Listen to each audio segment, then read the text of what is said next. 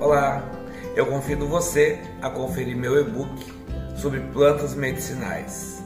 É um livro feito com muito carinho, abordando 50 plantas comuns, trazendo o seu uso medicinal, trazendo a sua composição química e também detalhes sobre a botânica, escrito de uma maneira fácil de ler e com muitas ilustrações. Tem uma introdução que começa falando sobre como se faz um xarope, um chá e muitas e muitas ilustrações.